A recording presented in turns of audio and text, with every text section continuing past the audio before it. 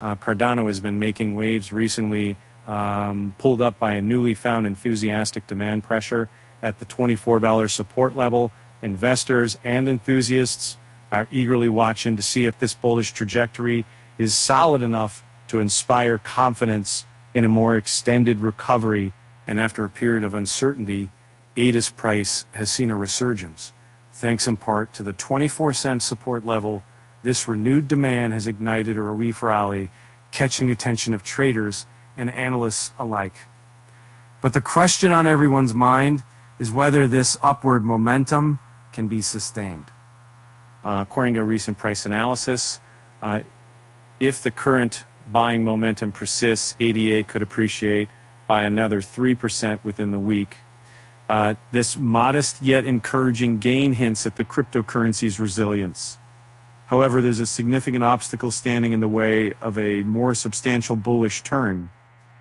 As of the latest available data, ADA's price is approximately 0.254 million on CoinGecko, with a 2.6% gain in the last 24 hours and a slight 1.3% decline over a 15.3 climb. And this month, were arguments of its high up developing and matches and moving houses 16 million pre-bulls alone in the past seven days. The Entech was a formidable dynamic resistance level has thwarted bulls attempts to push ADA higher on three distinct occasions in the past.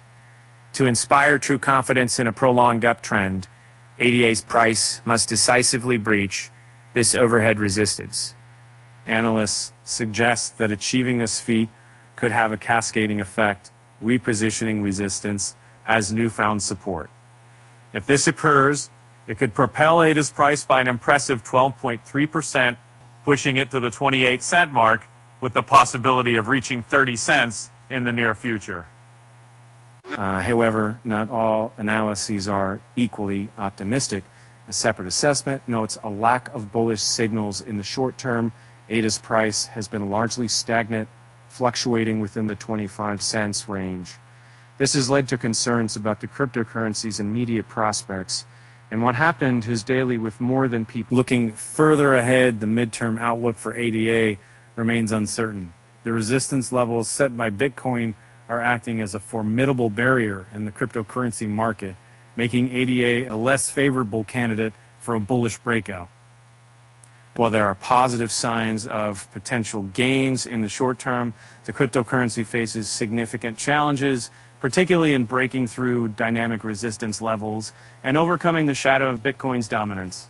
Investors and enthusiasts will be closely monitoring ADA's performance in the coming weeks to see if it can sustain its recovery and inspire confidence in a more extended bullish force trend.